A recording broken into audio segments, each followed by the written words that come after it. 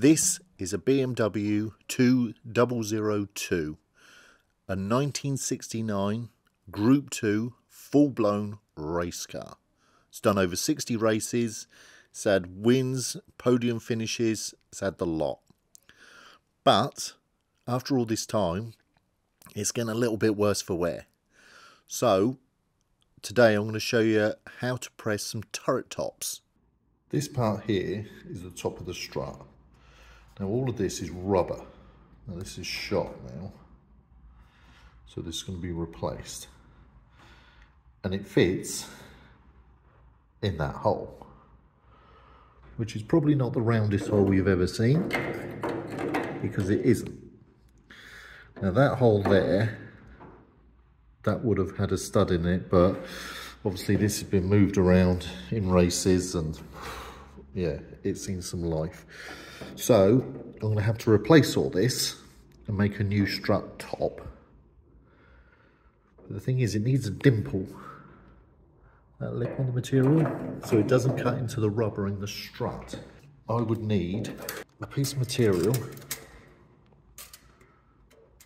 about 160 mil in diameter to press that out. Right, I've got two billets that I'm going to machine. Now this bit here is the female billet for the press tool. Now, as you can see, my old lathe isn't a CNC lathe. This is just a manual lathe. So, and there's also no drawings with this. I just sort of make it up as I go along.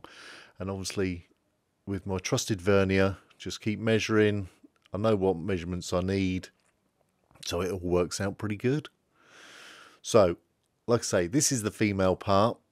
And what I'm going to do is just face this off like I'm doing here. And then what we're going to do is concentrate on the center. Now, all I've done with this, now this is on an angle of 12 degrees. Now, this is the same shape as the actual rubber on the mount so it's not going to cut into it or anything like that because if it was 90 degrees then it just won't work you know it's not going to sit comfortably. This literally will just fit in like a glove. So I'm just going to machine all this up and then hopefully we're uh, ready to go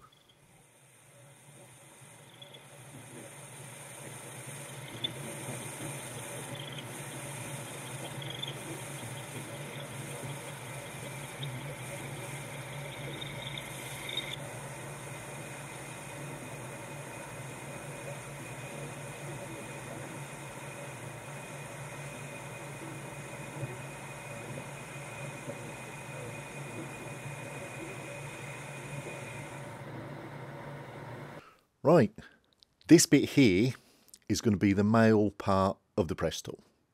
Bit scabby, doesn't look great, but that is a nice bit of aluminium. 7075, hard as nails that. So that'll come up lovely. Now, this is the female part, as you see, lovely and shiny. Now that strut head, it goes over the top, so all the other way round, but that's that part.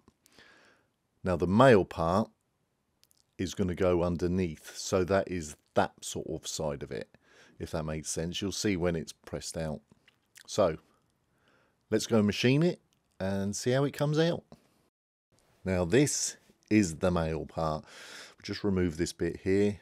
Like I said before, there's no CNC in this. It's just measure, measure again, machine measure, and then you come up with a part like this.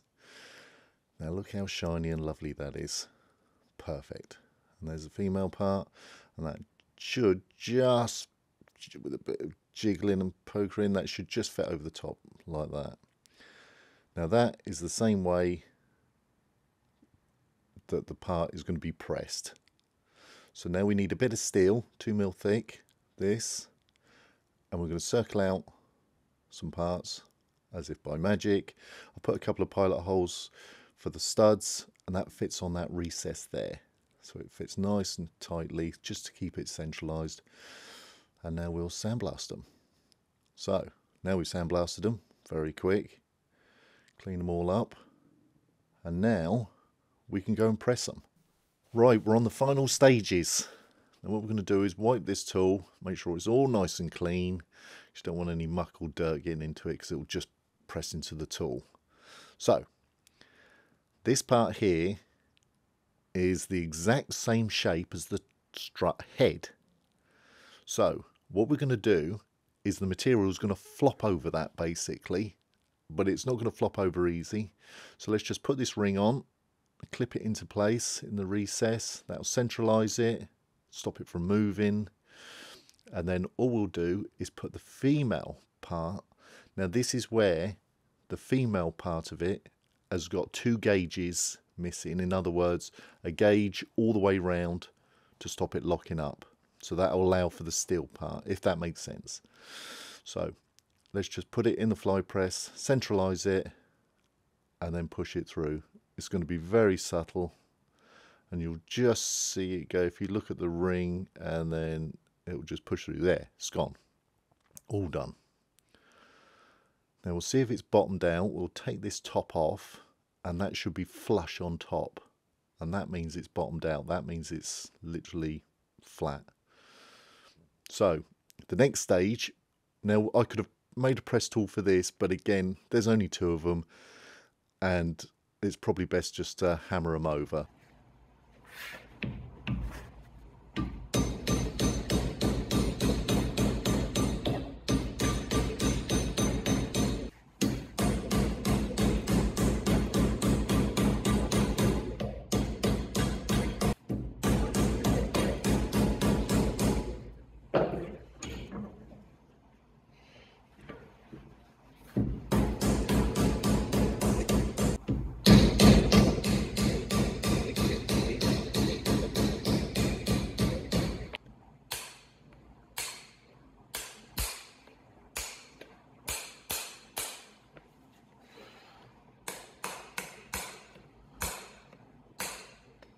And here it is, the finished product. All of that just for that. So we haven't pressed the other one, you can see in the background. I've drilled the holes for the studs. So that should fit perfectly over the top. Look at that. Looks like it was made for it, doesn't it? Should be nice and flat underneath. Let's have a look. Yep, look at that. Perfect. So, let's try this on the car. Let's see the old one and that's the new one. And we're going to cut all that off and re-weld that in its place. So very pleased with this. And you can see the angle on it like that. So I hope you've enjoyed it. There's the finished product. Thanks for watching. Till next time